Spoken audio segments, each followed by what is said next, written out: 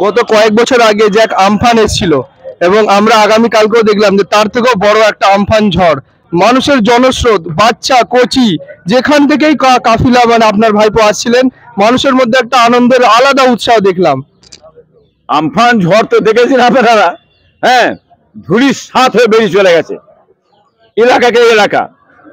আজকে খোদার ফজলে আল্লাহর রহমত আমরা চুম্বয় সবরকে দেখছিলাম। যে ফুরফুরা পিসাদের কি আছে, না আছে, বাংলার মানুষ জানে, সকলে জানে না। হ্যাঁ বিশেষ করে নেতা নেত্রী ওনারা জানে না। ওনারা মনে করেন, গদিতে বসে আছি সব আমার। না কিরাম ঝড় উঠেছে।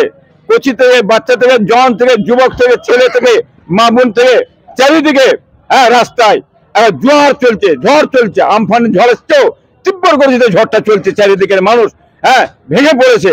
এইটাই হচ্ছে সবর করে থাকার জন্য ফুরফুরা পীর সাহেবদের আভিজাত্যটা কি আছে? ফুরফুরা পীর সাহেবদের কি ব্যাপারটা আছে? বাংলার মানুষ কি করে? কত বিশ্বাস করে? সে তার জবাবটা কিন্তু কালকে আমার এই ভাইপো দিয়ে দিয়েছে আল্লাহ তাকে দিয়ে দিয়েছে। নওসাদ সিদ্দিকী এখন শুধু ফুরফুরার ছেলে বা ভাঙড়ের বিধায়ক নয় সে সারা বাংলার ছেলে এবং সারা ভারতের সন্তান হয়েছেন। এই নিয়ে কি বলবেন?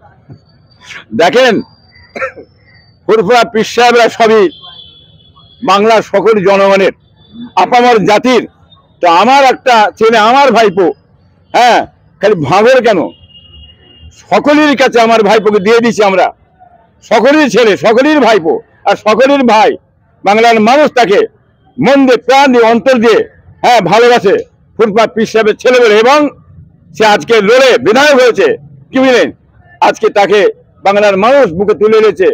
চারিদিকে হাসির ফোয়ারা, হাসির ঢেউ, শান্তির ঢেউ আছে, চলছে। দেখুন আপনারা, আল্লাহ কি করেছেন দেখুন আপনি। যে চারিদিকে যত মিষ্টির দোকান আছে, সমস্ত মিষ্টির দোকানে একটা মিষ্টি নেই। ফুল নিয়ে মানুষ তার গলায় দিচ্ছে। আজ আবির চারিদিকে মাপছে হ্যাঁ একবার ঢেউ চলছে। এটাই হচ্ছে হ্যাঁ মালিকের দয়া। সবরে ফল সবর করলে ফল, সবরে ফল পাওয়া যায়। আপনারা বুঝতে পারছেন? সবর করেছেন আমরা? আমাদের অনেক কিছু করার ছিল। আমরা নামতে পারতাম আন্দোলন করতে না।